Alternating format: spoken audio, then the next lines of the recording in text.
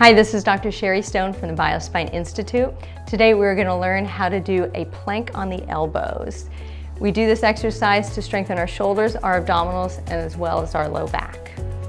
To perform plank on the elbows, start by laying on your stomach, propped up on your forearms. You're going to tighten your trunk muscles, your trunk and your, your abdominal muscles, and you're going to lift up your butt.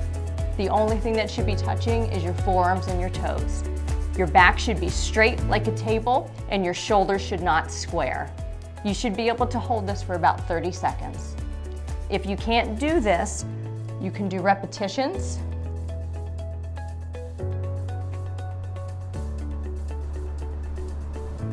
If this is still too difficult or painful, you can perform on your knees.